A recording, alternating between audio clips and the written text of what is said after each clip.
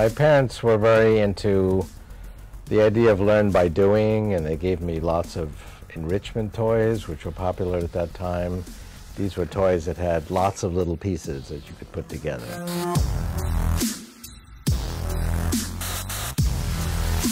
Uh, I would augment my inventory by going through the neighborhood and bringing back either electronic things like radios or bicycles and take them apart and add to my inventory of, uh, of, of pieces. And I had this idea that, gee, if I could just figure out how to put them together in the right way, I could create transcendent effects. Now, I didn't have that vocabulary.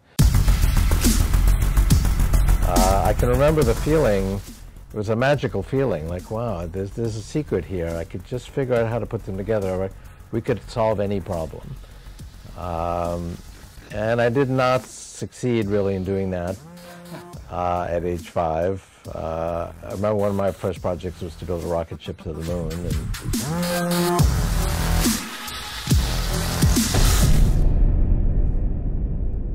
I built actually a very nice nose cone, but and I figured, well, I'll, I'll figure out how to the propulsion system later.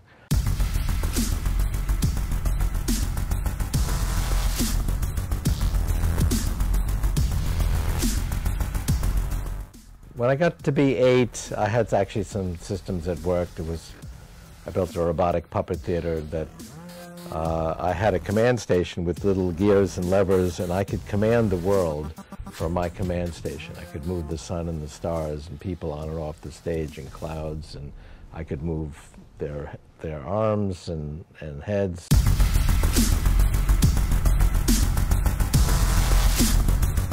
I was in control of the world remotely. It was kind of a virtual reality world, and I showed it at school, and people thought it was pretty cool. Uh, that was age eight. Uh, but I actually remember thinking I'm going to be an inventor. And other kids were wondering what they were going to do. They're going to be a teacher, a fireman, a nurse. I had this conceit, I know what I'm going to be.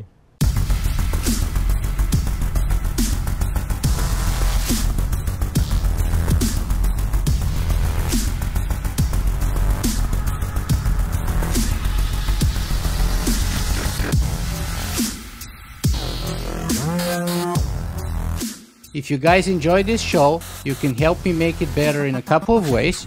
You can go and write a review on iTunes, or you can simply make a donation.